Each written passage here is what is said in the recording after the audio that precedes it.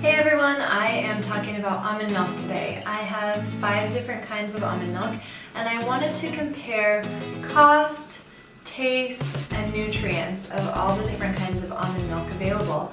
We love to drink almond milk in my family, but when it comes to giving some to my daughter, it made me want to take a little bit of a closer look at what actually was in the almond milk that we were drinking. So I have um, two homemade almond milk and three different kinds of store-bought almond milk to compare. If you are interested in seeing how almond milk stacks up, um, just keep watching. The first almond milk I want to review is one that is probably easiest to find and it is um, by the Silk brand.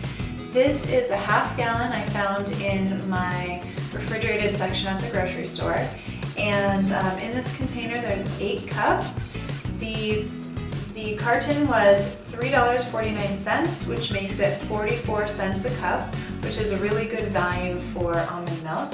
And some things I like about this almond milk are that, um, like I said, it's easy to find. Um, it comes in an unsweetened version, which is the kind that I bought. Um, it's non-GMO, which is great, and there's no carrageenan in the ingredients, which I also really like. Um, this is fortified, that means that they add vitamins to it after they process the almonds. Um, so that gives it quite a few um, vitamins and minerals in here, 45% um, of your daily value of calcium, which is a lot. But um, I'm not sure where they derive the the um, vitamins and minerals from, and I think that's kind of important. So I'm going to put up a list of the ingredients for you.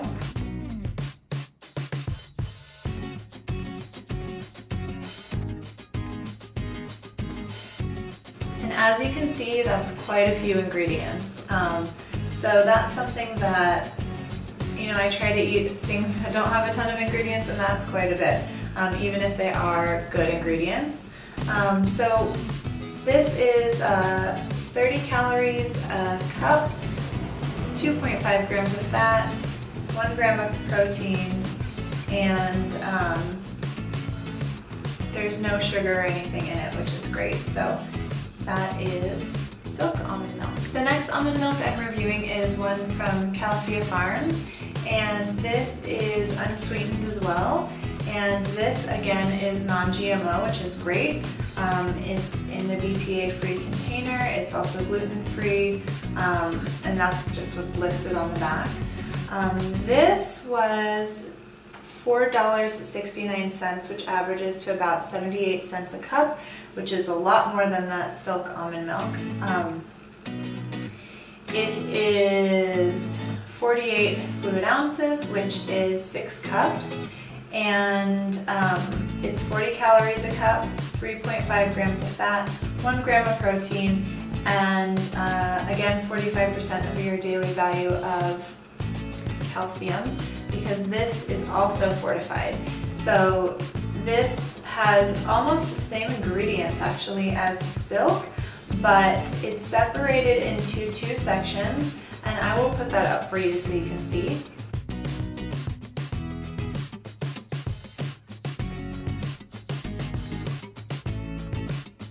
And as you can see in the ingredients, they have it split off so that the vitamins and minerals that they added into it um, are only 2% or less. And I think that they're trying to tell you that it's mostly water and almonds, which is what you're looking for. Um, there's no carrageenan in this as well, which I think is great, and we'll see how it tastes. The last store-bought option that I'm going to be reviewing is Pacific Organic Almond Milk. So this is the only organic one that I was able to find, um, and it is unsweetened as well and this is a much smaller container at 32 ounces, which is four cups. And I like that it's only four cups because we don't go through a lot of almond milk and um, this can actually be kept on the shelf until you're ready to use it. And then when you are ready to use it, four cups isn't that much to go through in seven to 10 days. Per cup, there's 35 calories, 2.5 grams of fat, 1 gram of protein, and 2% of your daily value of calcium, which is a lot lower than the others, but that's because this is not fortified. Um, there are far fewer ingredients in this one, which I really like, but this does contain carrageenan, which um, is a known carcinogen, so that's something that um, is not my favorite about this.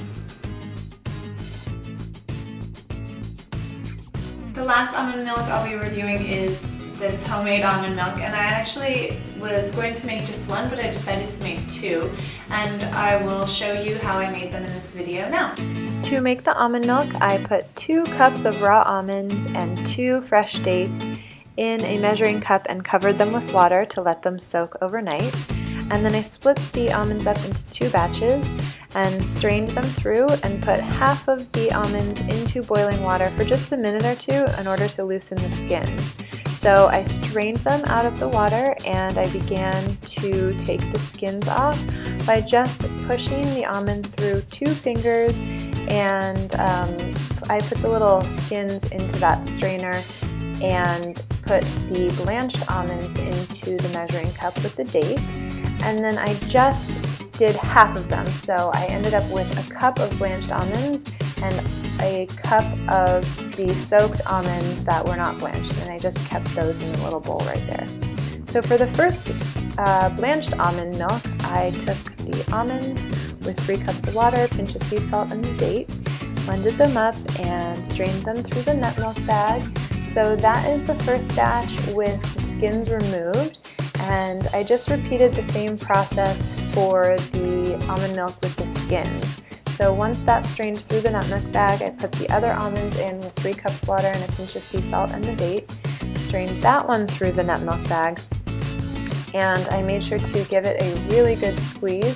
So when you're using the nut milk bag, it's going to get all these solid pieces, but you just want to help push the liquid through by squeezing it really well and I think putting the strainer under is um, helpful too so you don't lose grasp of the bag.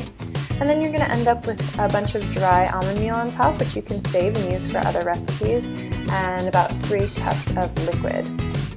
The reason I made two different kinds of almond milk is because as I was removing the shells off of the first batch, I realized that it was so time consuming that it was pretty much unlikely that I would be willing to do that on a daily or weekly basis. So I just wanted to see if there was a big taste difference in making fresh almond milk with the skins on or using the blanched almonds.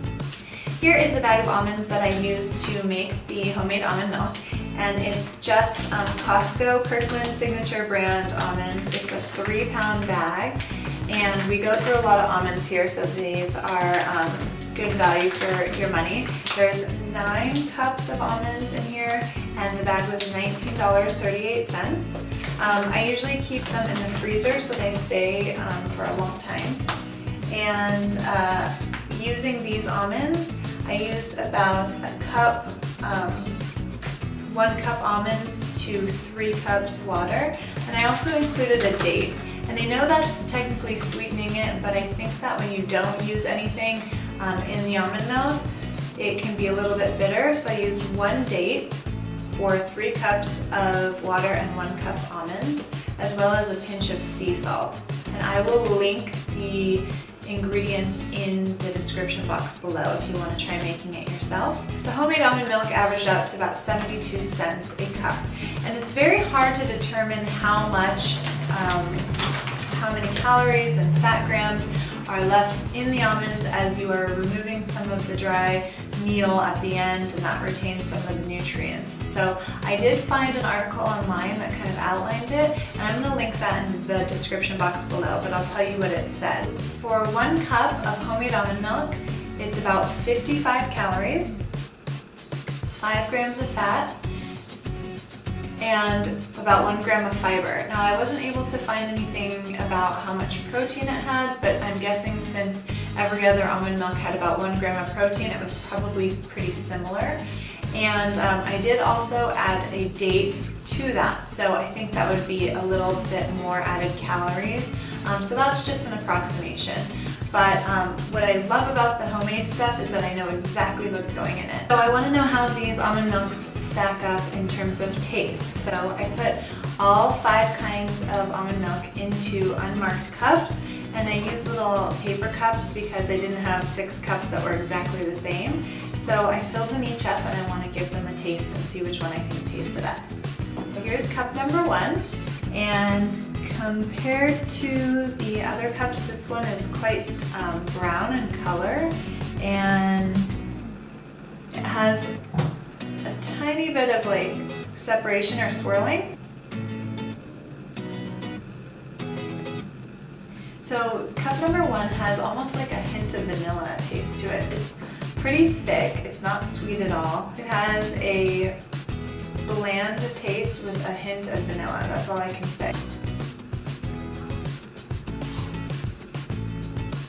Ooh, cup number two is sweeter and um, still creamy, but it, it's very white in color and it has a lot of like swirling through it.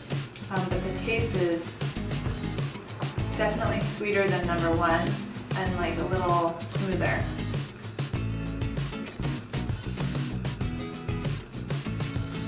Number three is quite watery, um, but the taste is good. It has like almondy kind of taste to it, but it's much thinner than the others.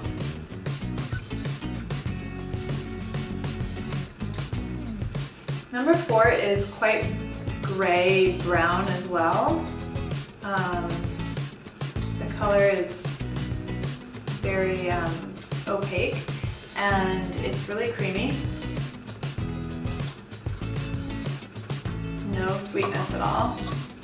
And number five. Number five is really good too. Um, see some like swirling in there as well. So I'm wondering if that's like a little bit of separation. So let's figure out which is which. Well, let's, let's decide which one was the best. I liked two and five, I think, were the best in terms of flavor. Um, I thought four was pretty good too. So let's see two. This is homemade with skin on. That was number two. And homemade with no skin was number five. I think I almost liked it with the skin on better though. Um, let's see what number four was. Number four was Califia Farms, so this one. And that leaves number one, thick and vanilla-y, was Silk and that must mean that the thin, thin almondy one was, was the Pacific Organic. I think definitely in terms of taste, the homemade almond milk is just so good. Um, creamy, tastes like almonds, but is it worth it in terms of time? And what I would say is that it probably is if you're just gonna soak your almonds and blend them up and then strain them. It's probably not for me if I'm gonna have to peel all of them. That's quite an extra step that I might take if I was making something special, but just as a weekly beverage, I'm not sure. Um, the tough part about making it, besides the time, is that it's only good for three to five days, so you need to make it in smaller batches. And um, in terms of cost, it's not really a huge savings since it's 72 cents a cup, and that is with buying the almonds in bulk. Um, something else that is a little bit tough with the homemade is that the, the almonds that I use are non-organic, and that's because organic almonds are so expensive that it wouldn't have been similar in price to the other options that I was choosing. But I don't know, it's a toss up. I really like the homemade stuff, um, but I'm just not sure if I would be able to do that um, every week, but maybe I would.